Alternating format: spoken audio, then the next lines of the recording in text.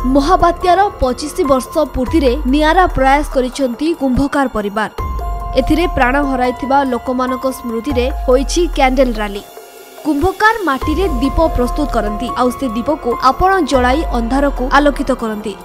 କିନ୍ତୁ ଚଳିତ ଦୀପାବଳିରେ ବିଭିନ୍ନ ପ୍ରାକୃତିକ ଦୁର୍ବିପାକରୁ ସୁରକ୍ଷା କରିବା ପାଇଁ ଏକାଠି ହୋଇ ମା ମଙ୍ଗଳା ଏବଂ ପ୍ରଭୁ ଜଗନ୍ନାଥଙ୍କ ଉଦ୍ଦେଶ୍ୟରେ ଜଳା ହେଉଛି ଦୀପ।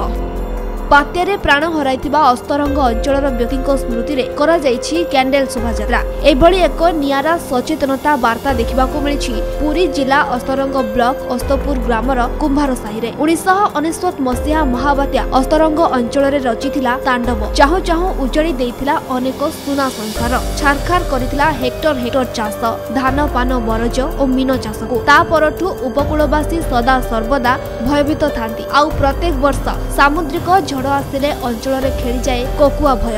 ଏହି ବିପତ୍ତି ବାରମ୍ବାର ଆସୁଥିବାରୁ ସମସ୍ତେ ଏକତ୍ରିତ ହୋଇ କରିଛନ୍ତି ଏହି ନିଆରା ପ୍ରୟାସ।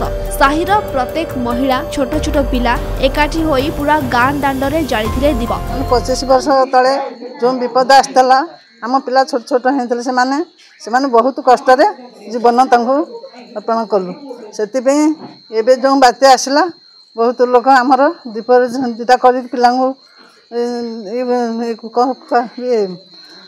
ଭରଣ ପୋଷଣ କରୁଥିଲୁ ସେଥିପାଇଁ ଆଉ ଏ ବାତ୍ୟାରେ ଆମ ଶାଳ ଘର ସବୁ ଭାଙ୍ଗିଗଲା। ସେଥିପାଇଁ ଆମେ ଆପଣଙ୍କ ପାଖରେ ଅନୁରୋଧ କରି ଜୟ ଶ୍ରୀ ଜଗନ୍ନାଥ ସର୍ବନଙ୍ଗଳା ଜଗନ୍ନାଥଙ୍କ ପାଖରେ ଅର୍ପଣ କରୁଛୁ। ଆଉ ଏମିତିଆ ବିପଦ ଆମ ପାଇଁ ରାଜ୍ୟକୁ ଆଉ ନ ଆସୁ। ସମଗ୍ର ଗ୍ରାମାଞ୍ଚଳରେ ଏକ ଆଲୋକର ପର୍ବର ପରିବେଶ ସୃଷ୍ଟି ହୋଇଥିଲା। ସତେ ଲାଗୁଥିଲା ଦୀପାବଳି ପୂର୍ବରୁ ପାଳିତ ହେଉଛି ଆଲୋକର ପର୍ବ।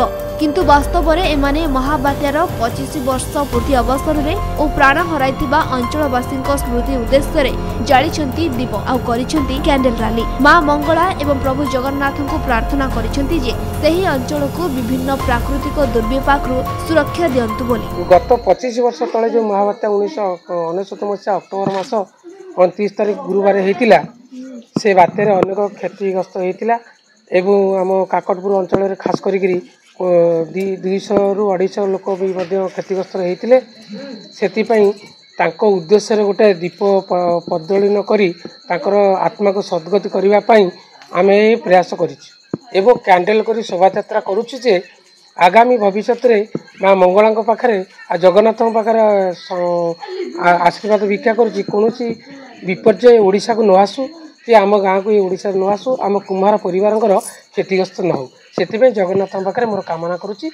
ମୁଁ ଶ୍ରୀ କୈଳାସ ଚନ୍ଦ୍ର ମୁଦୁଲି। ଉଣେଇଶହ ଅନେଶ୍ୱତ ମସିହାରେ ଯେଉଁ ବାତ୍ୟା ହେଇଥିଲା ସେତେବେଳେ ତ ଆମେ ଛୋଟ ଛୋଟ ହେଇଥିଲୁ ତା'ର ପ୍ରଭାବ ଯେମିତି ପଡ଼ିକି କାକଟପୁର ଅଞ୍ଚଳ ସମସ୍ତ ଓଡ଼ିଶାବାସୀଙ୍କର ଯେଉଁ କ୍ଷୟକ୍ଷତି ହେଇଥିଲା ଆଉ ମଙ୍ଗଳାଙ୍କ ପାଖରେ ଆମର ଏତିକି ପ୍ରାର୍ଥନା କି ଆମ ଅଞ୍ଚଳରେ ଯେମିତି ସୁଖ ଶାନ୍ତି ଆଉ ପ୍ରଭାବ ନ ପଡ଼ୁ ପ୍ରଭାବ ଏ ଯେଉଁ ଆସୁଛି ଯେଉଁ ଆଗାମୀ ବାତ୍ୟା ଆସୁଛି ତାର କେମିତି ପ୍ରଭାବ ଆମର ଏ ଅଞ୍ଚଳରେ ନ ପଡ଼ୁ ସେଥିପାଇଁ ମଙ୍ଗଳାଙ୍କ ପାଖରେ ଆମର ଏତିକି ପ୍ରାର୍ଥନା। ତେବେ କୁମ୍ଭକାର ପରିବାରଙ୍କ ଏଭଳି ମହତ୍ କାର୍ଯ୍ୟକ୍ରମ ଏବଂ ସଚେତନତାମୂଳକ ବାର୍ତ୍ତା ପାଇଁ ବିଭିନ୍ନ ମହଲରେ ପ୍ରଶଂସା କରାଯାଇଛି। ଅସ୍ତରଙ୍ଗରୁ ସ୍ନେହଲତା ମହାନ୍ତିଙ୍କ ରିପୋର୍ଟ କଳିଙ୍ଗ ଟୁଡେ ଲାଇଭ୍।